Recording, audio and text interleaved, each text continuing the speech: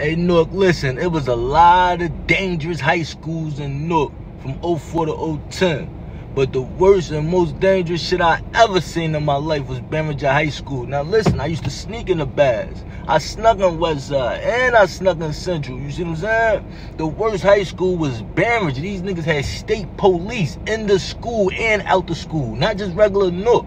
Y'all not hearing me. Uh, like, that shit was was very dangerous for blood members. You heard? If you wasn't from the zone, you couldn't. Not really. Wasn't too many sitting in there with us. If you wasn't.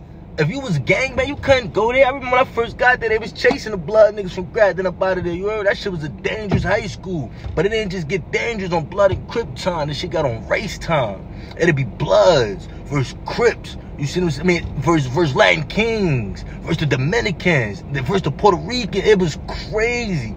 Like you'll be on the first floor and they'd be getting shaking on the second and third floor, all different races. You just see Puerto Ricans punching Dominicans, punching blacks. It was crazy. Dominicans always took it too far. At the school, catch a seven-year-old black girl, hit her with a machete. Damn, my nigga. Yo, I never in my life seen no shit like this. You in class trying to learn.